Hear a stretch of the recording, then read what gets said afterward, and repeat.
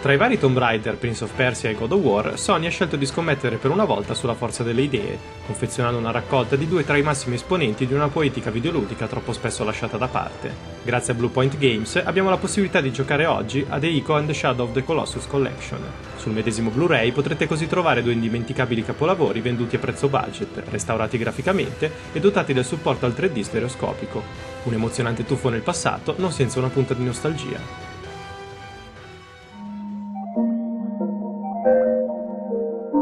Ico vi metterà nei panni di un ragazzo, esiliato dal suo stesso popolo perché è nato con le corna, che lo condanna alla prigionia in un castello rinchiuso in un sarcofago. La sua e la vostra avventura comincerà quando una scossa fa rovinare al suolo la sua prigione, lasciandolo così libero. Esplorando i dintorni si imbatterà in una misteriosa ragazza, alta, magra e pallida, quasi eterea, rinchiusa in una gabbia e di nome Yorda. I due parlano lingue diverse, ma il ragazzo si sente in dovere di liberarla, richiamando però delle creature d'ombra intenzionate a rapirla.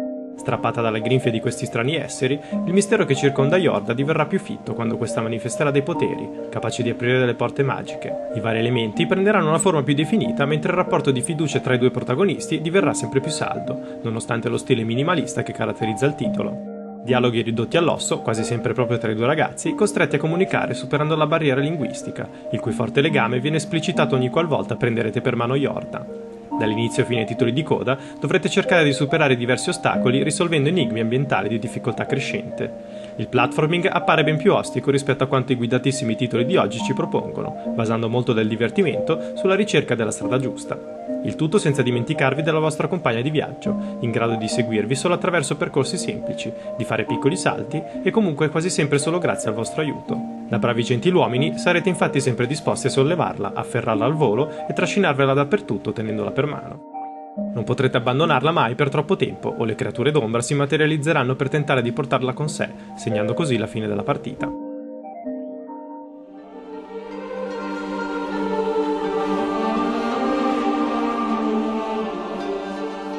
Forte legame affettivo tra i due personaggi caratterizzante l'intera avventura che potrete vivere in Ico è un tema che torna anche in Shadow of the Colossus, questa volta tra il protagonista, Wonder, e una giovane morta, Mono. Entrato in quello che appare come un santuario vigilato da 16 statue, egli appoggia delicatamente il corpo di una ragazza su un altare. Wonder ha viaggiato fino a questo luogo per poter comunicare con una misteriosa entità, apparentemente capace di riportare in vita i morti. Il nostro eroe accetterà in cambio di distruggere le 16 statue, uccidendo i colossi da esse rappresentate. Grazie alla spada magica in suo possesso, Wonder è in grado di localizzarli uno alla volta e di avventurarsi per le terre proibite nel disperato tentativo di eliminare questi enormi esseri. Fido compagno di viaggio sarà il suo cavallo agro, non un semplice mezzo di trasporto, ma un vero e proprio personaggio. Esso è infatti un essere senziente da governare tirando le redini e spronandolo colpendolo coi tacchi. A livello di gameplay, Shadow of the Colossus è di più ardua classificazione rispetto ad Ico, in quanto vi richiederà semplicemente di cavalcare alla ricerca dei colossi e di ucciderli.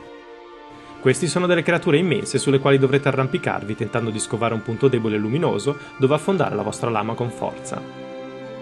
Ovviamente i colossi non avranno alcuna intenzione di lasciarvi in pace mentre vi aggrapperete su di loro, agitandosi e cercando di scrollarsi Wonder di dosso, rendendovi l'impresa più difficile. La vostra resistenza sarà però limitata ed una volta esaurita il protagonista mollerà la sua presa rovinando al suolo. Ogni essere sarà diverso dal precedente, costringendovi ad analizzare la situazione per identificare l'approccio corretto. Col procedere dell'avventura questo sarà sempre più complesso, in un crescendo di battaglie uno contro uno incredibilmente epiche.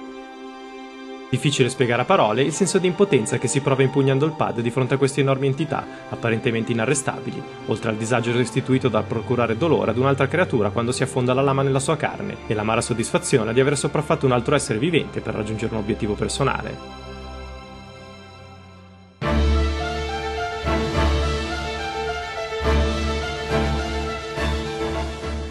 Dopo tanto tempo, nonostante siamo abituati a prodezze tecnologiche e a videogiochi incredibilmente rumorosi, i due titoli sembrano non essere invecchiati in un solo giorno.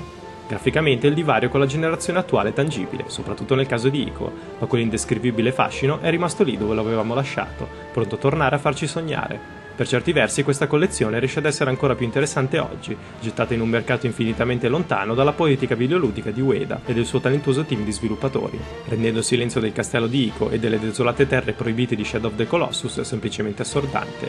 Senza dimenticare poi l'originalità del gameplay di quest'ultimo, capace ancora oggi di dire la sua nonostante la semplicità della formula di base. L'adattamento riesce ad attualizzare egregiamente i due lavori, proponendoli in un pulitissimo Full HD e finalmente privi di qualsiasi calo di frame rate. Siamo rimasti molto colpiti anche dal supporto alla stereoscopia, una volta tanto un valore aggiunto consistente e da tenere in seria considerazione se siete tra i fortunati possessori di un televisore 3D.